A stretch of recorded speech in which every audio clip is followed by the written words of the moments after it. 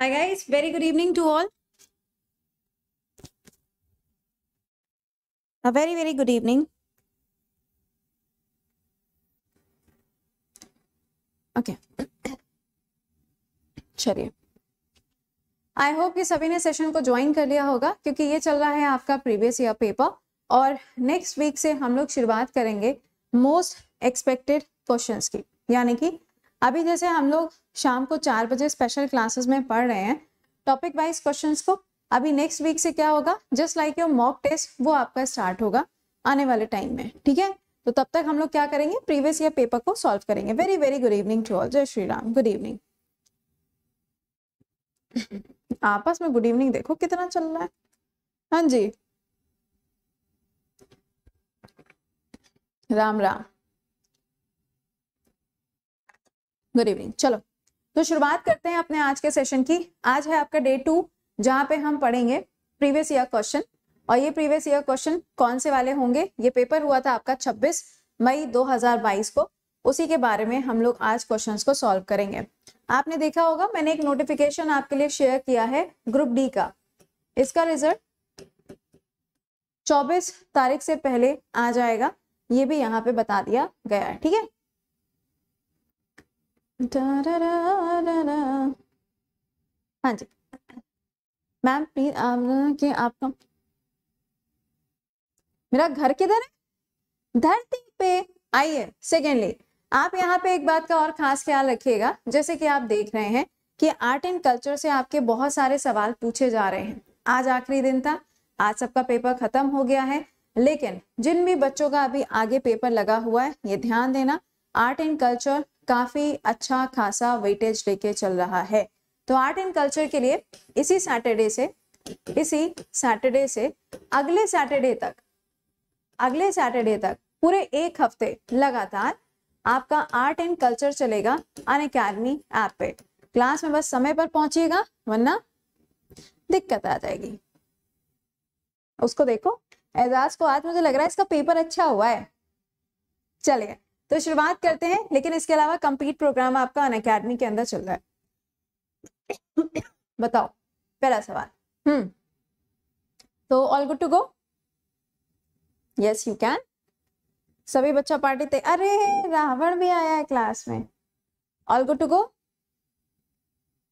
चलिए सो पहला question who among the following is the author of the book fasting feasting इस किताब को किसके द्वारा लिखा गया? यानी कि यहाँ से बुक्स के ऊपर जो क्वेश्चन हैं, वो आपके हर शिफ्ट के अंदर पूछे गए। कल भी हम लोगों ने देखा था एन एरा ऑफ़ डार्कनेस था, और आज यहाँ पे जो सवाल पूछा जा रहा है, वो कौन सा है? फास्टिंग फीस्टिंग है। आपको बताना है कि ये बुक किसकी है?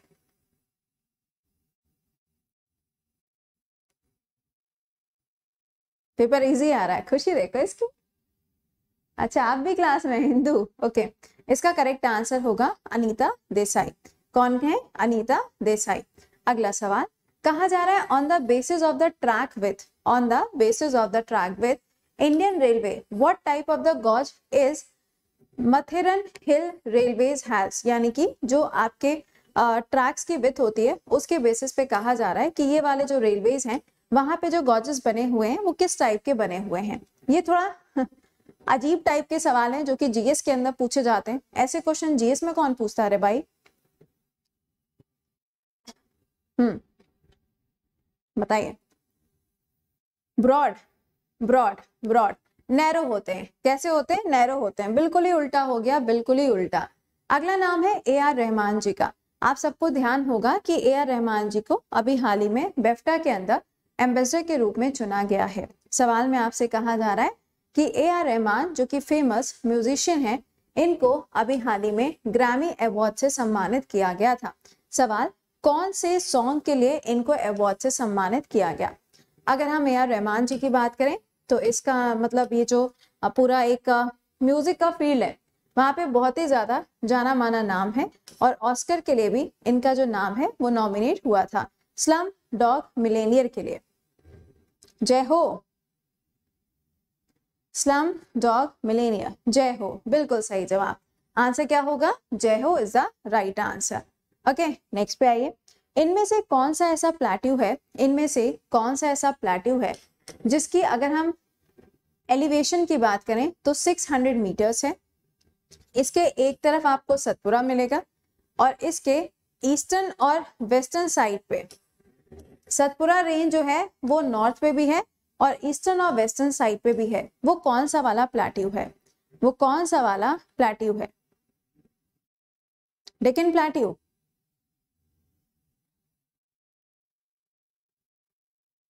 Deccan plateau DP, ओहो, छोटा नागपुर प्लेट्यू कुछ लोग छोटा नागपुर भी बोल रहे हैं।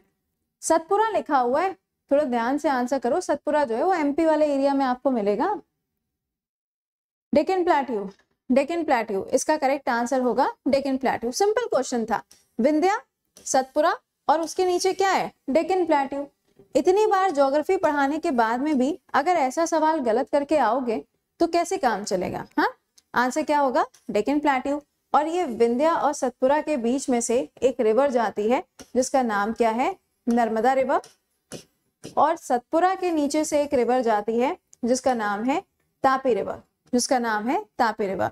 अभी मैंने सुबह 12 बजे के क्लास में आपको रिवर्स पढ़ाई थी। अगला lack of financial discipline by the government can lead to यानी कि अगर जो हमारी गवर्नमेंट है, जो हमारी सरकार है उनके पास में अगर फाइनेंशियल कंडीशन जो है, वो बहुत खराब हो जाती है तो इससे क्या हो सकता है? एक्सेस एक्सपेंडिचर होगा या फिर इन्फ्लेशन होगा?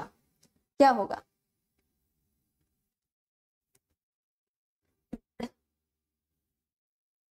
बोथ होगा, दोनों होगा। बहुत बढ़िया। Both exactly very good evening बेटा अब इसमें क्या आंसर हिंदी में रखे बताओ, तुम ही बताओ, है? क्या इसमें आंसर हिंदी में रखे बताओ?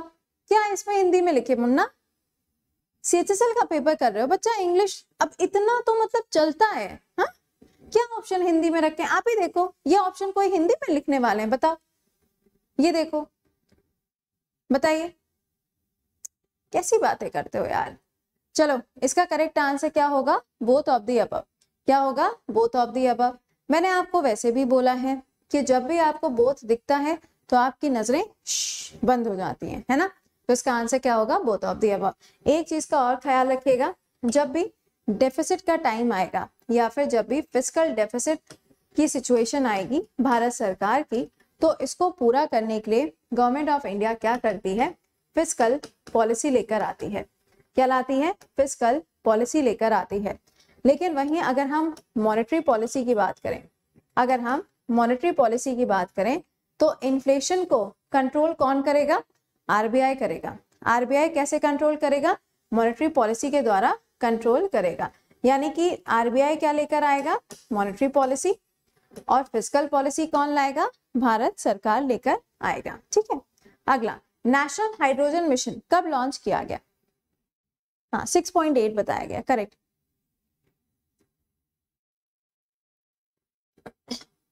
बताइए।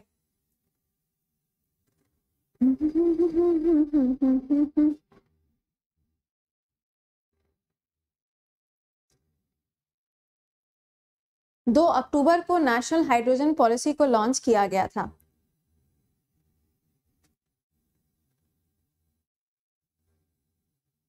दो अक्टूबर। अच्छा कुछ का आंसर पंद्रह अक्टूबर है। प्रणाम प्रणाम। भाई देखो नेशनल हाइड्रोजन पॉलिसी जो है, या फिर जो मिशन है, ये लॉन्च किया जाता है फिफ्टींथ ऑफ़ अगस्त 2021 में। अब पहला पॉइंट जो यहाँ पे आपको याद रखना है, वो ये है कि इंडिया के अंदर इंडिया के अंदर जो हाइड्रोजन पावर का इस्तेमाल करते हुए सबसे पहला एयरपोर्ट होगा, वो कौन सा है? वो है Indira Gandhi airport second point Ladakh second point Ladakh Ladakh के अंदर जो ले है, ये क्या बन चुका है? कार्बन न्यूट्रल बन चुका है। हाइड्रोजन बसेस हाइड्रोजन बसेस जो हैं, वो इंडिया के अंदर दिल्ली में भी चल चुकी हैं और लद्दाख के अंदर भी इनको चलाया जा रहा है। अगर कहा जाता है हाइड्रोजन ट्रेन, अगर कहा जाता है हाइड्रोजन ट्रेन तो ये आपको कहाँ पे मिलेगी? जर्मनी के अंदर। कहाँ मिलेगी? जर्मनी के अंदर।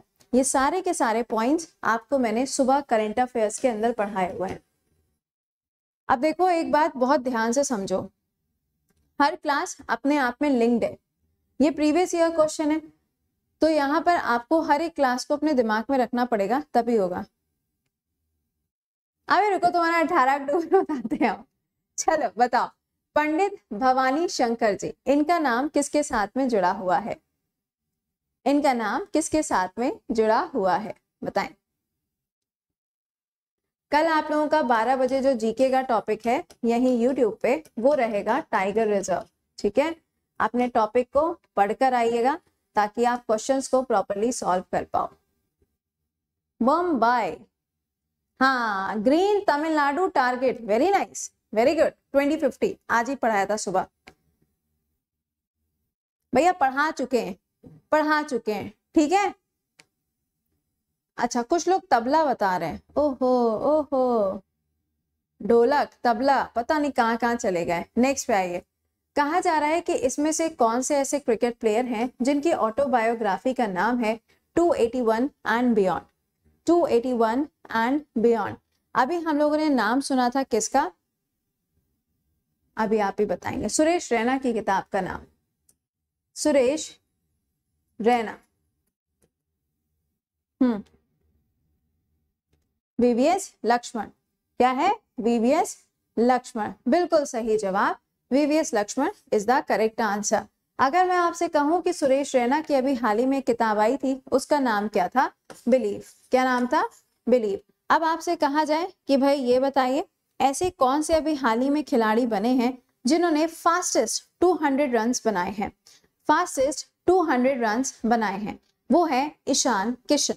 कौन है? ईशान किशन। और कल रात में player of the month for November declare हो चुका है। उसमें इस बार फिर से जो फीमेल का अवार्ड गया है, वो पाकिस्तान की क्रिकेटर को गया है। इसके बारे में भी कल सुबह सात बजे पढ़ा जाएगा करंट अफेयर्स में। ओके नेक्स्ट कहा जा रहा है कि ये बताइए? आपके सामने ये इमेज है। ओके ये देख रहे हो यहाँ पे पिक्चर बेस्ड भी क्वेश्चंस आपको देखने को मिलते हैं। बहुत सारे ऐसे आपको यूट्यूब चैनल्स या फिर बहुत सारे आपको ऐसे एजुकेटर्स भी मिलेंगे जो वही घिसे पिटे सवाल, वही घिसे पिटे सवाल। बट कॉन्सेप्ट को समझना कि पेपर का लेवल चेंज हो रहा है एंड वो ऐसे पिक्चर वाले सवाल भी आपसे पूछ रहे हैं। अभी जब हम एक्सपेक्टेड क्वेश्चन स्टार्ट करेंगे ना, तब जब ऐसे सवाल आएँगे ना, गलत हुए तो खैर ना है बेटा तुम लोगों की। ये कौन सा वाला स्पोर्ट्स है? ये खो खो कौन बता रहा है भाई? बचपन में खो खो नहीं खेला है तुमने? खो खो बता रहा है। हद है यार। मलखम बिल्कुल सही जवाब। कौन सा है? मलखम है। मलखम जो स्पोर्ट्स है, इसको भी हाल ही में खेलो इंडिया के अंदर ऐड किया गया था। और ये कहाँ पे परफॉर्म किया जाता है? ये कहाँ पे परफॉर्म किया जाता है? Name the state Baba Ramdev. Name the state state का नाम बताओ। खो खो वालों? खो ही जाओ तुम लोग। हाँ जी नेम द स्टेट एमपी और महाराष्ट्र के अंदर। कहाँ पे? एमपी और महाराष्ट्र के अंदर आपको ये स्पोर्ट्स मिलेगा। ओके आज सुबह मैंने आपको सात बजे के क्लास में पढ़ाया था कि खेलो इंडिया के लिए वन थाउज़ेंड सेंटर्स जो हैं, उनको बनाया जाएगा। Which of the following is the oldest high court सबसे पुराना high court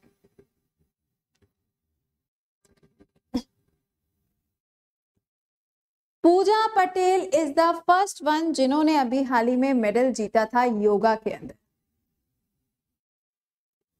हम्म।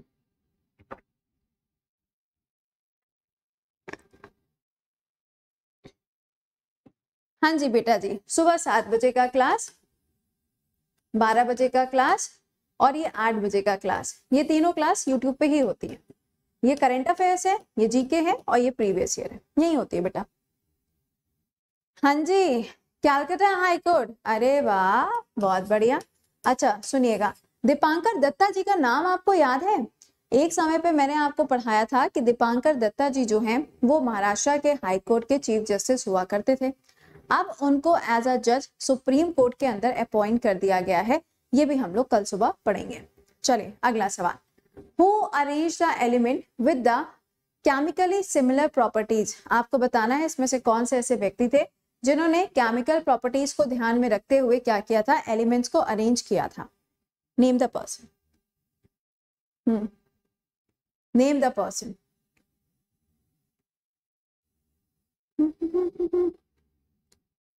Mendeleev Mendeleev ने ऐसा किया था। अच्छा।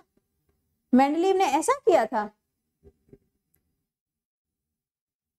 ओ ए होगा। ए होगा। देखो भाई, ये तो नहीं है और ये भी नहीं है। अब बताओ। फिफ्टी फिफ्टी लगा दिया तुम्हारे लिए तो। ए होगा ए होगा। बिल्कुल सही जवाब ए होगा। करेक्ट है। चलिए नेक्स्ट पे आइए। Mitya Ram Riang was conferred with the Padma Shri. आपसे कहा जा रहा है, इनका नाम कौन से? फोक डांस के साथ में जुड़ा हुआ है। अभी मैंने आपको क्लासिकल डांस फॉर्म के साथ में जुड़े हुए जितने नाम थे, वो पढ़ाए थे। अभी जब सैटरडे से आपका क्लास स्टार्ट होगा ना आर्ट एंड कल्चर का सैटरडे से, उसमें आपको ये वाला सेक्शन भी पढ़ाएँगे। बताइए। सी होजागिरी डांस के साथ में जुड़ा हुआ है। देखो, ये जो रियांग ट्राइब आपको नज़र आ रही है ना, लिखी हुई, यहाँ पे जो एक्चुअल में ये नाम लिखा है, इसी नाम से आपको ब्रू ट्राइब मिलती है, जो कि मिजोरम में भी है, त्रिपुरा में भी है। इसी को हम रियांग के नाम से भी जानते हैं। सी कुछ का बी भी आ रहा है। इसका आंसर होगा होजागिरी डांस फॉर्म मैंने अभी आपको बताया ना, त्रिपुरा के अंदर। कहा? त्रिपुरा के अंदर। चलो नेक्स्ट पे आओ, बताओ। इनमें से कौन सा वाला डांस फॉर्म है? देख रहे हो, कितने क्वेश्चन आर्ट एंड कल्चर के ऊपर भरे पड़े हुए हैं। कितने क्वेश्चन तो आप समझ लीजिए कि टॉपिक कितना इंपॉर्टेंट हो गया आपके लिए हाँ? देखिएगा। फ़र्स्ट इंडियाज ट्रेडिशनल डांस जो कि एक थिएटर भी है। Okay exhibited widely both at home and abroad यानी कि एक ऐसा डांस फॉर्म जो कि भारत के अंदर भी परफॉर्म किया जाता है और ऑल ओवर द वर्ल्ड के अंदर भी परफॉर्म किया जाता है। भरतनाट्यम, क्यों? कुचिपुड़ी भी तो लिखा हुआ नज़र आ रहा है।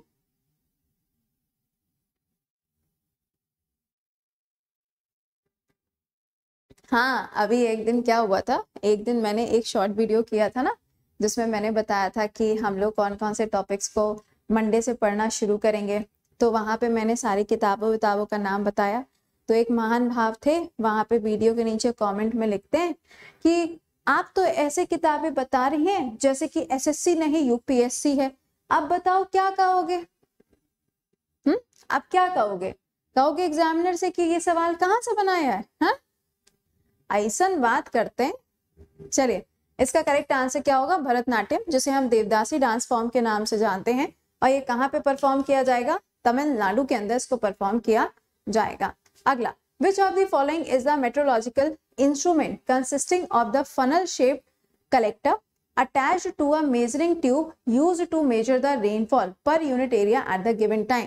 Simple सा सवाल आपसे पूछा गया है कि ये बताइए रेनफॉल को मेजर करने के लिए यहाँ पर एक इंस्ट्रूमेंट है। What is the name of the instrument what is the name of the instrument instrument का नाम यहाँ पर क्या होगा? सिंपल सा क्वेश्चन है। मेट्रोलॉजिकल इंस्ट्रूमेंट आपसे पूछा गया है to calculate the rain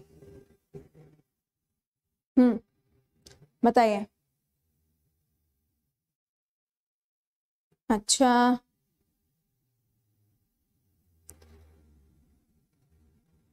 okay answer कर लिया? चलो, इसका करेक्ट आंसर यहाँ पे क्या होगा? स्टैंडर्ड रेन गॉज क्या हो जाएगा? Standard rain gauge is the correct answer अभी हाल में तमिलनाडु जो है, वो भारत का सबसे पहला राज्य बन गया है, जिसने क्या लॉन्च किया है? क्लाइमेट चेंज प्रोग्राम को लॉन्च किया है। ठीक है ना? चलिए नेक्स्ट पे आइएगा। Identify the word that means horizontal row in the table horizontal row in the periodic table क्या डिफाइन करता है? क्या डिफाइन करता है? बताइए।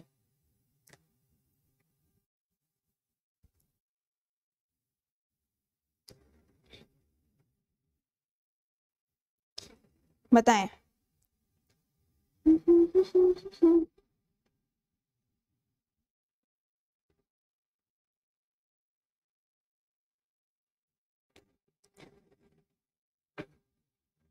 ओके। okay. इसका अच्छा कुछ ने स्किप कर दिया। इसका आंसर क्या बनेगा अरे भाई साहब पीरियोडिक टेबल में पीरियड्स बोलते हैं उसको। गजब। चलिए who won the bronze medal in badminton women single Tokyo Olympics 2020 2020 bronze medal in badminton आज सारे आंसर सी हो रहे हैं। अच्छा ऐसा, मैंने ऐसा ध्यान नहीं दिया वैसे। इट्स पीवी सिंधु कौन हो जाएँगी? पीवी सिंधु हो जाएँगी। और जब रियो हुआ था तो वहाँ पे इन्होंने सिल्वर मेडल जीता था। इसीलिए उनको सिल्वर गर्ल के नाम से भी जाना जाता है। अभी हाल में इन्होंने स्विस चैंपियनशिप जीती है और सैयद ट्रॉफी जो है, वो भी जीती है। ये सैयद ट्रॉफी कौन सी है? बैडमिंटन वाली है क्रिकेट वाली नहीं है। अगला which of the following is not the symptom अरे सिम्टम से याद आया, भाई साहब जीका वायरस का केस मिल गया कर्नाटका में। समझ रहे हो? जीका वायरस का सबसे पहला जो केस है वो कर्नाटका के अंदर पाया गया है। हाँ जी, बताएँ, सवाल। कहा जा रहा है? Beriberi hmm due to the deficiency of B one आपको बताना है कौन सा सिम्टम नहीं है। ए इसका सिम्टम नहीं होता है। स्लोली हीलिंग द वूंड्स अच्छा।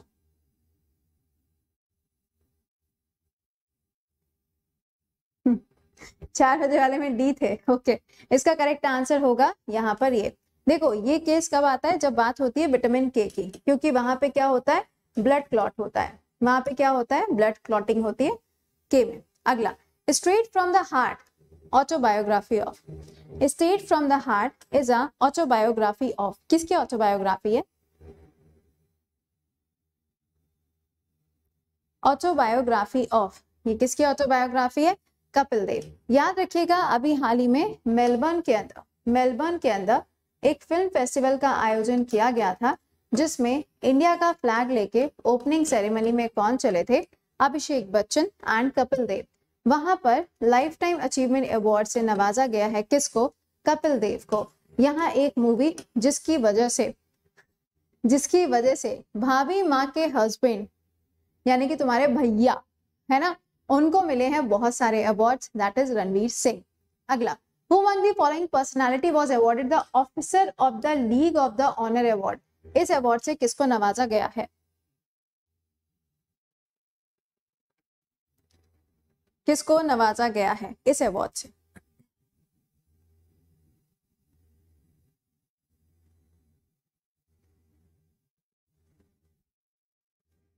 Okay okay.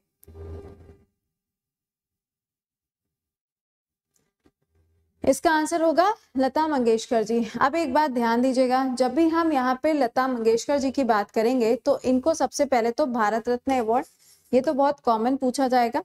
दूसरा सवाल आपसे पूछा जाएगा कि इनके नाम से जुड़ा हुआ एक इंस्टीट्यूट भी बनाया जाएगा। एक इंस्टीट्यूट इंदौर में आएगा और एक इंस्टीट्यूट मुंबई के अंदर आएगा। इसके अलावा लता मंगेशकर जी के नाम पे एक चौक कहाँ पर? यह आपको मिलेगी अयोध्या के अंदर। कहा? अयोध्या के अंदर। और लता मंगेशकर जी के नाम पे अभी हाल ही में अवार्ड्स की भी शुरुआत हुई है।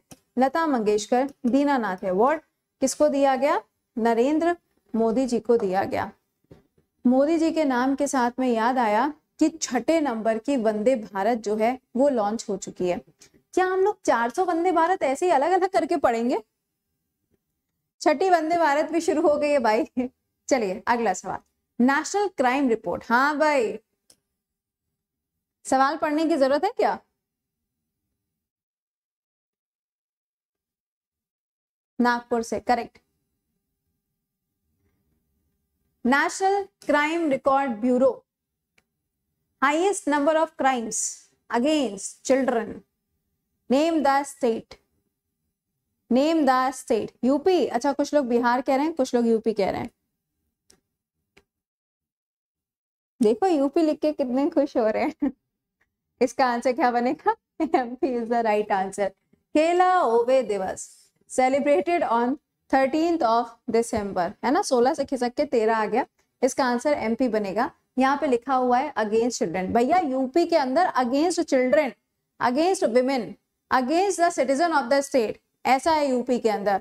यूपी जो है ऑल ओवर इंडिया के अंदर सबसे ज़्यादा केसेस के लिए जाना जाता है। Padma Bhushan awardee Uma Sharma dance form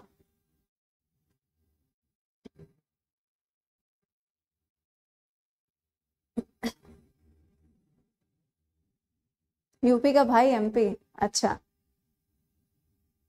चलो इसका आंसर क्या होगा यहाँ पे? कथक डांस के साथ में इनका नाम जुड़ा हुआ है। अगला देखिएगा यहाँ पे। तेजन बाय ऋतु वर्मा उषा जादूराम शांतिबाई ये सारे जो नाम हैं ये सारे के सारे नाम कौन से म्यूज़िक के साथ या फिर कौन से फ़ील्ड के साथ में जुड़े हुए हैं? देख रहे हो कितने क्वेश्चंस आर्ट और आ, आपके कल्चर से पूछे गए हैं। अब अगर आपने इसी टॉपिक को ध्यान से नहीं पढ़ा तो दिक्कत आएगी कि नहीं आएगी? लावनी डांस फॉर्म अच्छा महाराष्ट्र चलोगे? अच्छा। पंदवानी डांस फॉर्म है करेक्ट कौन सा डांस है? पंदवानी के साथ में इनका नाम जुड़ा हुआ है। अगला, कहा जा रहा है कि इसमें से कौन सा ऐसा स्पोर्ट है जिसे हम एडवेंचर स्पोर्ट की कैटेगरी में रखते हैं? जिसे हम एडवेंचर स्पोर्ट्स की कैटेगरी के अंदर रखते हैं। बताइए।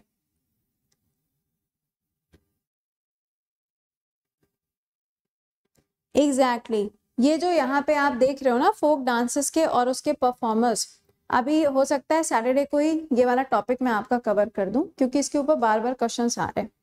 चलो, इसका करेक्ट आंसर क्या हो जाएगा यहाँ पर? ये होगी पैराग्लाइडिंग सिंपल क्वेश्चन था पैराग्लाइडिंग होगी। अगला classical dance guru dash Jatin Goswami आपको बताना है ये कौन से स्टेट से बिलोंग करते हैं। इनको कालिदास सम्मान 2017 में दिया गया था। नेम द स्टेट अब जैसे कि आपसे पूछ लिया जाए, भूपेन हजारिका जी की स्टेट या आपसे पूछी जाए, नवीन पटनायक जी की स्टेट या लाइक इसी तरीके से नाम के साथ में स्टेट पूछ लिए जाते हैं। आसाम। आसाम। आसाम। इसका आंसर बनेगा आसाम। बिल्कुल सही जवाब है। ठीक है? चलो। तो यहाँ तक मैंने आपको क्वेश्चंस करवा दिए। उम्मीद करेंगे कि आपने यहाँ पे अटेम्प्ट सही किए होंगे। अभी प्रीवियस ईयर पढ़ लो इस पूरे वीक में, उसके बाद में आपका मॉक आएगा, क्योंकि अभी टाइम है आपके पास में तो प्रॉपर तरीके से पढ़ाई कर लीजिए, ठीक है? इसके अलावा जिन भी बच्चों ने अभी तक फाउंडेशन बैच ज्वाइन नहीं किया है, अभी हम आपको इसी टेलीग्राम पे शेयर कर रहे हैं। लिंक के साथ शेयर कर रहे हैं, ताकि आपको समस्या ना आए। Code will be Kriti ten सिर्फ़ और सिर्फ़ आपके पास में। अब कौन सी तारीख है भैया? तेरह। तीन दिनों का सम, नहीं, दो ही दिनों का समय आपके पास में बचा है जब आप ट्वेंटी परसेंट डिस्काउंट के साथ में ज्वाइन कर सकते हो। And the code will be Kriti ten ठीक है? चलिए तो मिलते हैं आप लोगों से कल सुबह सात बजे। इसी जगह पे। टिल देन खुश रहिए, मुस्कुराते रहिए। Good night to all bye bye and take care